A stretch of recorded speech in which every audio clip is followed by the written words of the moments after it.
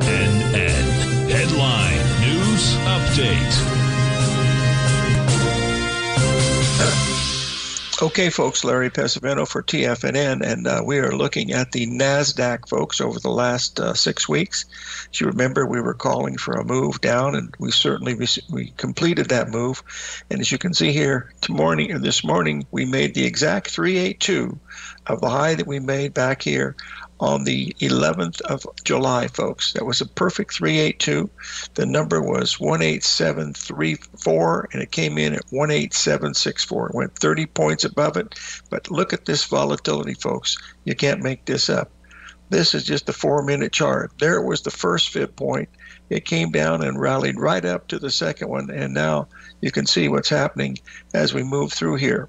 Now, when we were doing the show on Friday, the live trading show, we were looking at this pattern right here in the Dow Jones. And as you can see here, we'll just get up here that uh, we were recommending the selling it right in here. We got within just a heartbeat, and then today we we hit it pretty much spot on.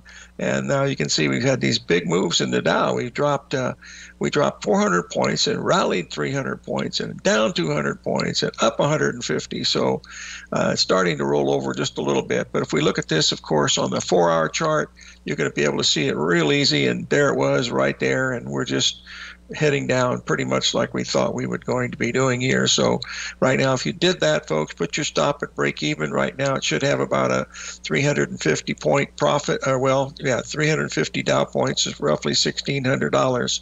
So that's uh, what we're watching here. Now, uh, I have a. Uh, I got to put my time clock up here so I can see what we're doing. Jim Bartolone is our guest today. Tomorrow, our guest is going to be um, none other than Stan Harley, which is always a lot of fun. So we're going to take a look at a couple of stocks here while we've got a moment. Uh, we got a minute to go, and we want to look at Apple because uh, Apple is in the news quite a bit today, and it was hitting some major stuff here, as I recall here on Friday. Let's just double check it to see where we are. All I have to do is find the A's, and there they are. And here's where we are.